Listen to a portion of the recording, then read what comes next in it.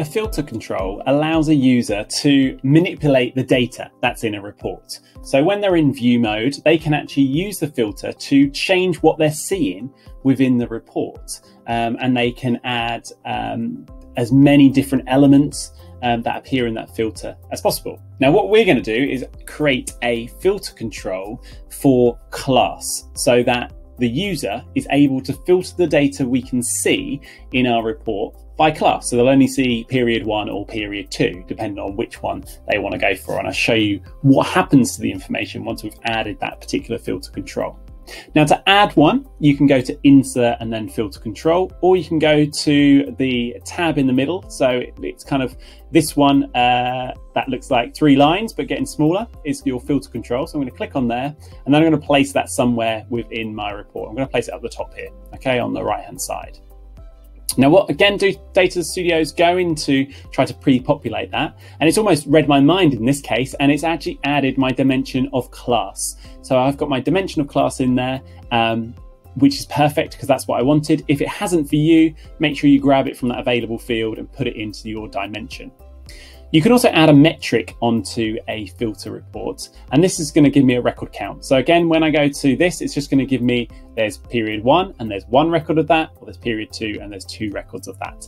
In my case right now, I don't necessarily need to have a metric. So I'm going to remove this metric in here, but you might want to. Um, so when someone's about to filter, it might be how many students there are in particular class. That might be something that's quite helpful. So you might want to include that information into those. So I'm going to remove my metric onto those. And I'm going to just change my order on here. So I've got descending or ascending, and I'm going to go for ascending. So go period one, period two, rather than if it was descending, it would be period two, then period one after that. And the interesting thing down here is around order, you've got show top number. So I've currently got it defaulted at, at, at set show the top 5,000. Now we only know we've got two uh, entries in here, but say if you did have 50 particular classes and you wanted to see, I don't know, filter it by the top uh, 10 classes for this particular um, total mark, for instance. So if I had my metric as total, it would pick the top 10 highest totals in my filter view. So I could select those and then the rest would be kind of as a, as a bulk 11th option as to see the rest of, of the class. Um, but for right now, I'm just going to leave that at 5,000. But you'll notice you can go from 10,000 uh, all the way down to the top number one. It's up to you what you want to do. Now let's just leave that as it was on the standard default. Okay, let's find out what this actually does, this filter control. So I'm going to switch now to my view mode. So I've come out of edit and got into my view mode and I've got this new filter that I can then use as a user. So this is what a user would be able to see. So I'm going to click on this class over here and I'm going to scroll down and I've got period one, period two, both of those are selected. Let's just select period one. I'm going to click on period one only and you'll notice my charts have updated.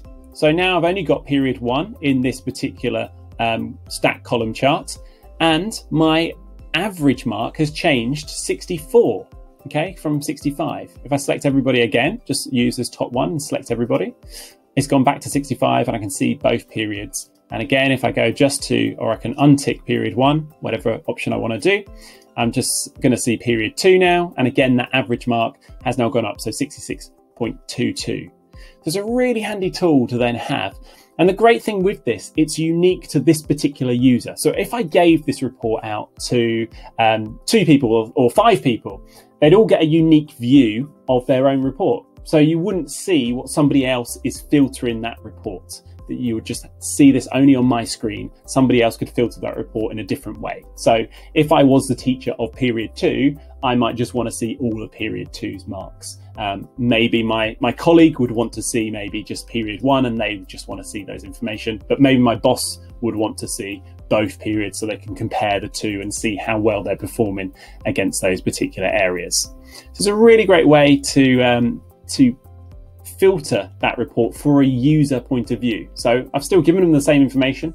It's just they've now got a bit more control of how they're seeing that data, which could be really handy for them. And you need to consider where this particular um, filter would appear on your screen. Think about your user interface. Where would it be? So if a, if somebody was trying to do something or filter it, you don't want to hide it down like in the middle here, because that might not be clear necessarily to somebody how stuff's being filtered to your user. Let's keep this at the top. So it's nice and clear somewhere at the top.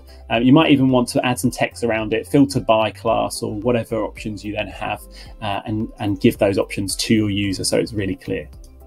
Again, there's a few options in style on here. So if you do want to customize this, you can think about how this menu appears. So I've got it set as a pop-up menu. If I go for a fixed size, I've got to make sure that that fits the fixed size. So there we go. I've got to make sure I've, I've can see all of those because otherwise um, my viewer's not going to be able to see those when I, my user's not going to be able to see those when I go into the view mode. And you'll notice now I'll go into view mode and that's permanently there. So I can now filter these and it's really clear now what I can actually filter and what I can't filter. Um, I can even have the search option where I could type in if I've got a number of different options within those. I can type for what I'm trying to find. Uh, I'm going to click that back uh, and go back to my uh, pop-up, click on the style here, click back onto my pop-up menu, uh, make that a little bit smaller again. Um, uh, and I can enable a search box if I want to have that, or I can disable that if I want to. And again, I can play around with any of these options. So have a feel free, have a play around, uh, get the or customize your filter control the same way that you have with the rest of your reports. And then next, we're going to be looking at how you can actually add pages to the report. Currently, we've only got it as a single page, but it really starts to add more elements, certainly with these filter controls, if you can use those and apply those over multiple pages and see that information for you. So that's in the next section.